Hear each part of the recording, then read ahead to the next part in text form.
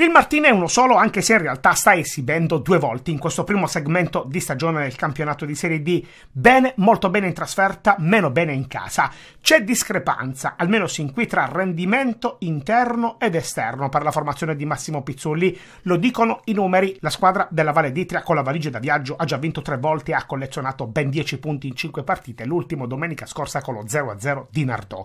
Solo il Casarano in campo avverso ha fatto meglio con 11 punti. In casa invece è tutta un'altra storia. Il Martina non ha mai vinto in cinque esibizioni di campionato al Tursi e ha ottenuto due soli pareggi, nessuna delle 18 del girone H. Ha fatto peggio nella versione interna dei biancazzurri.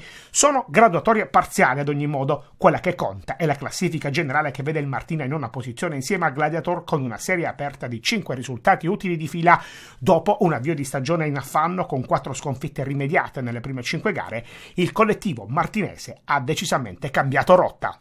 All'inizio non arrivavano solo i risultati, cioè i punti, però le prestazioni comunque ci sono sempre state. Sapevamo di pagare dazio dalla categoria perché comunque noi siamo 6-7 undicesimi dell'anno scorso, con qualche eh, rinforzo arrivato nel mercato estivo. Sapevamo che ci vuole tempo, ci sono parecchi giovani, abbiamo parecchi giovani in squadra.